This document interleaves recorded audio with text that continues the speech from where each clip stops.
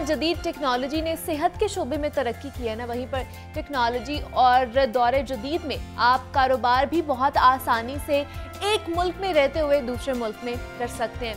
जनाब, ऐसा बिल्कुल मुमकिन है। अगर आप पाकिस्तान में रहते हैं और अमेरिका यहाँ पे कनाडा नहीं जा सकते तो कोई मसला ही नहीं है। आप यहाँ पर रह के मतलब कि पाकिस्तान में रहकर अपना कारोबार वहाँ पर लाजमी कर सकते हैं। ये कैसे कर सकते हैं, इस पर भी बात करेंगे।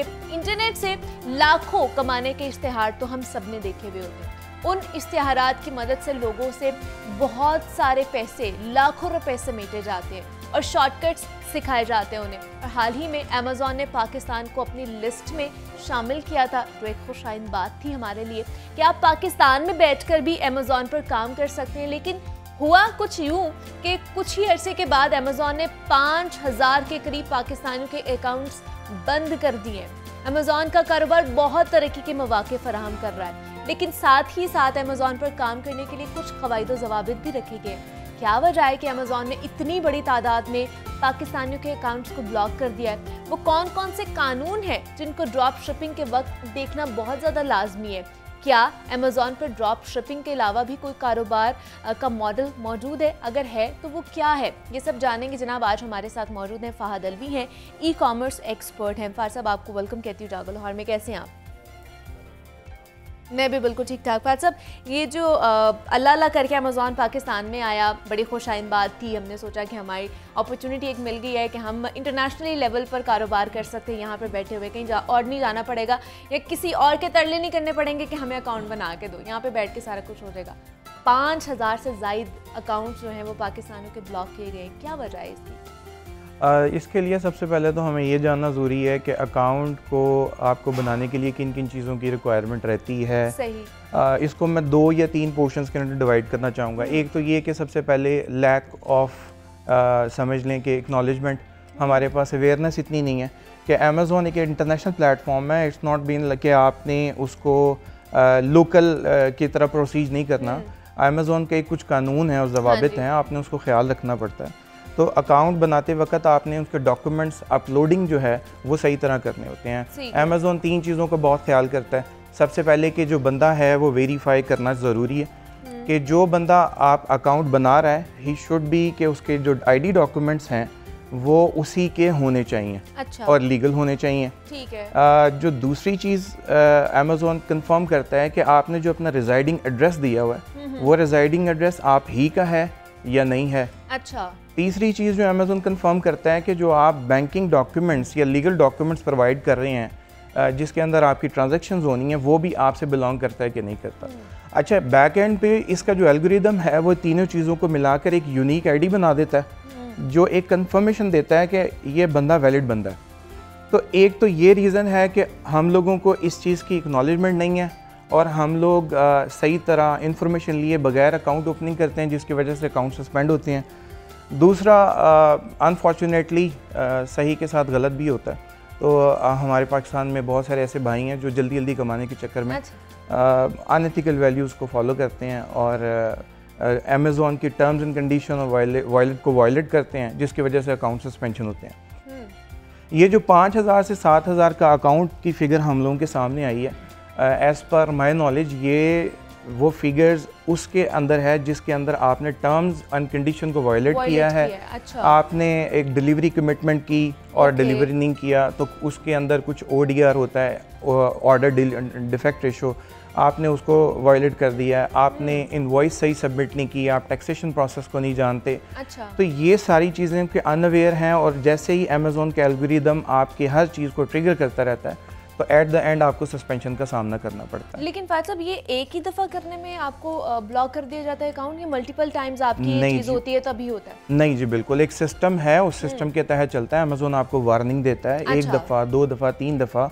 इवन हम्म। के जब आपका ओडीआर हाई हो रहा है तो उसकी परसेंटेज है कि आप बार बार जो है वो क्लाइंट आपको जो कंप्लेन कर रहा है कि आप ऑर्डर डिलीवर नहीं कर रहे। आपने उनसे पैसे ले लिए हुए हैं तो आप ऑर्डर डिलीवर क्यों नहीं कर रहे? उसका मटीरियल हम्म। डिलीवर क्यों नहीं कर रहे? तो एक दफ़ा होगा दो दफ़ा होगा तीन दफ़ा होगा फिर अमेज़ोन आपको एक चांस देता है अच्छा। कि आप इसकी सफ़ाई पेश करें कि आपने ये जो वायलेशन की है ये क्यों वायलेशन की है अगर आप कहते हैं कि जी गलती से हो गई या मैं मेरी थर्ड पार्टी जो डिलीवरी सेशन है वो नहीं कर सका।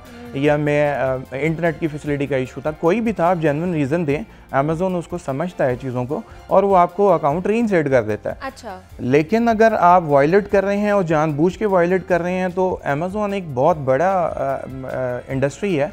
दे नो के that you are playing with them तो दिस इज़ द रीज़न कि ये पाँच से सात हज़ार का फिगर एक आया है और ये क्यूमुलेटिव फिगर है। इसमें मल्टीपल रीजंस मौजूद हैं। कि जिसके तहत जो है उन्होंने अकाउंट्स को जो है वो डिसेबल किया है।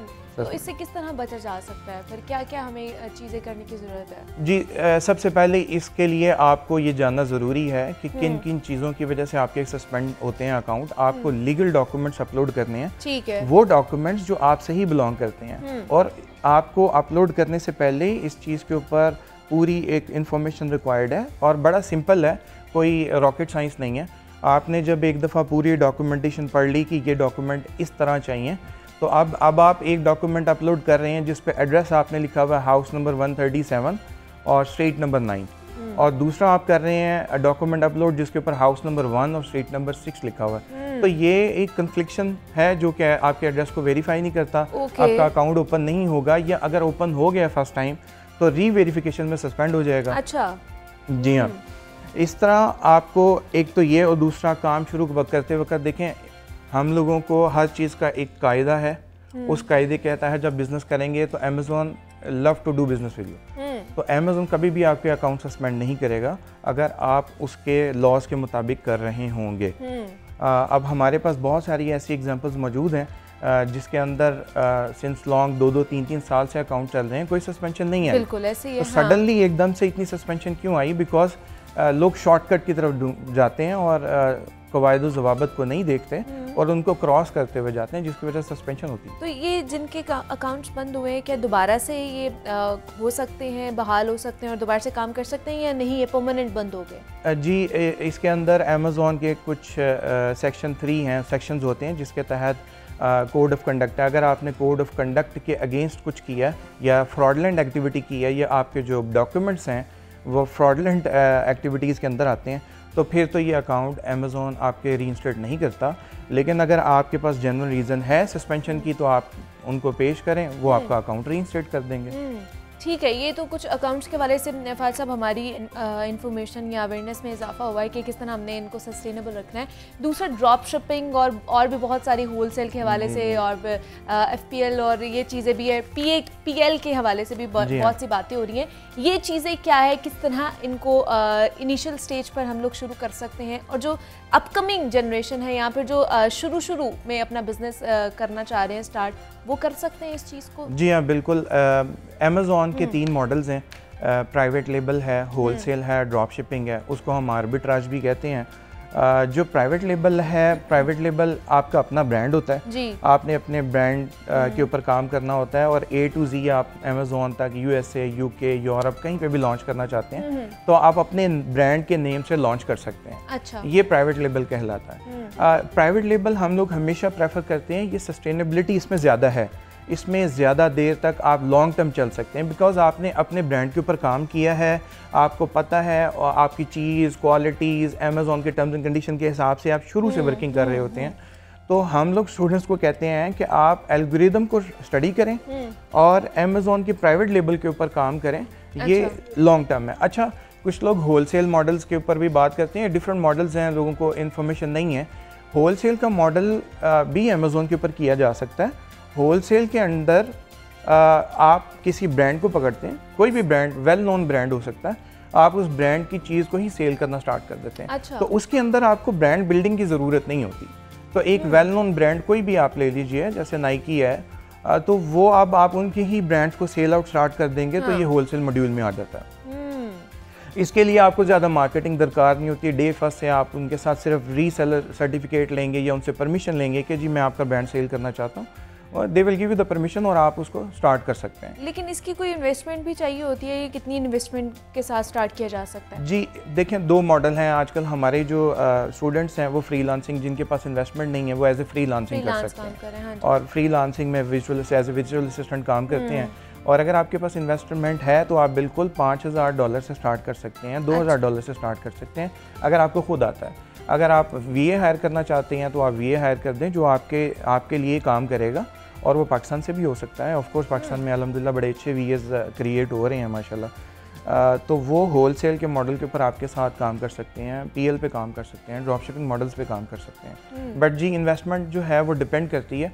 मार्केट टू मार्केट वेरी करती है प्रोडक्ट टू प्रोडक्ट वेरी करती है कि आप कौन सा प्रोडक्ट लेके जा रहे हैं और कौन सी मार्केट में लेके जा रहे हैं। अब यूएस की मार्केट बड़ी मार्केट है वहाँ कंपटीशन ज़्यादा है, है हाँ तो जहाँ पे कंपटीशन ज़्यादा होगा तो आपको मार्केटिंग स्पेंड ज़्यादा करना हम्म। पड़ेगा।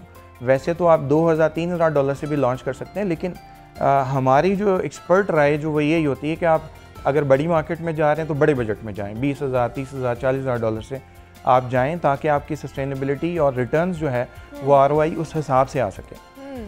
लेकिन वर्चुअल असिस्टेंट की जैसे आपने बात की है इसका भी बहुत ज़्यादा ज़िक्र हो रहा है जी हाँ। इस नई टेक्नोलॉजी के अंदर तो यहाँ पर किस तरह जाके काम किया जा सकता है किन किन फ़ील्ड में काम किया जा सकता है विजुअल असिस्टेंट जो है वो हमारा एक समझ लें एक जॉब का ही है लेकिन अच्छा। यू आप अब फ्री हैं आज़ाद हैं किसी ऑफ़िस में बैठ के करने की ज़रूरत नहीं है आप वी ए हो सकते हैं अमेज़ोन के आप वी ए हो सकते हैं ई के वॉलमार्ट के ये डिफरेंट आपके पोर्टल्स हैं जो ई कॉमर्स इंडस्ट्री के अंदर काम करते हैं ज़रूरी नहीं है अब दराज के वी भी पाकिस्तान में मौजूद हैं हम्म। आप दराज का काम जो